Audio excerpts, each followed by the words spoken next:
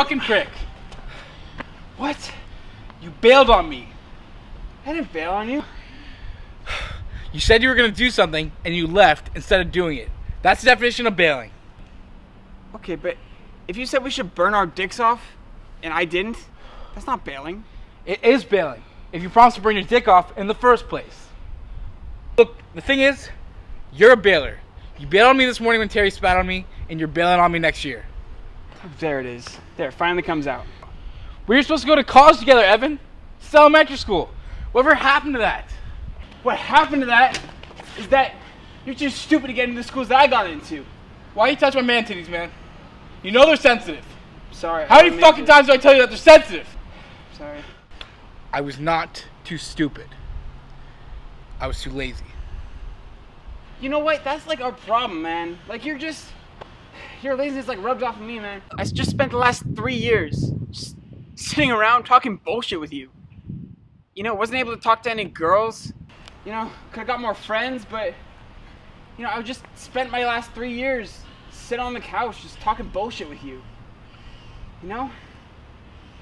Fuck you, man. I mean, now because of you, I'm gonna go to college a fucking friendless virgin. Fuck you, Seth. Fuck you, Evan. Oh, Don't touch my oh, titties. shit. The fuck off me, man. There's a fight going on. Shit, Oh, shit, shit. shit. Holy shit. You know, I don't even know anymore, Ray. I just don't know. See, I was raised believing certain things. I was raised Catholic, see, and I've more or less rejected all of it. Yeah, the nuts, aren't they? It's more than that. The, see, I grew up. I, I, I want to be a good person.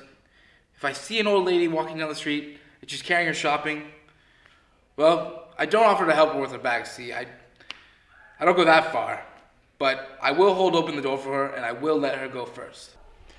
Yeah, but if you're trying to carry her shopping, she most likely will just th- try to think you're steal her shopping. Exactly. This is the world we live in today. And now I have to reconcile with the fact that yes, I have killed people. Not a lot of people.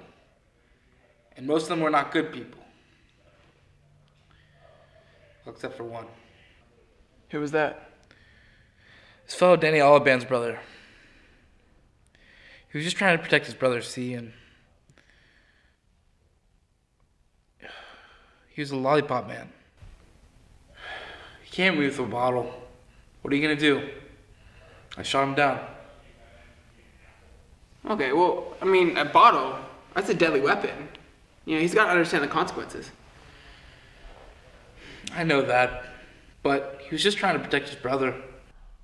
Yeah, but a bottle, that can kill you. You know, that's a case if it's you or him. You know, if he came out with you with his bare hands, that'd be different. That'd be unfair. Well, technically, your bare hands can be a deadly weapon. See, say he knew karate or something like that. You said it was a lollipop man. He was a lollipop man.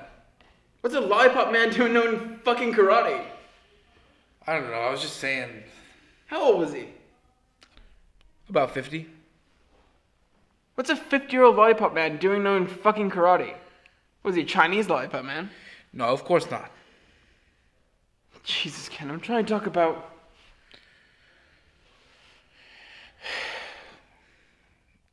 I know what you're trying to talk about.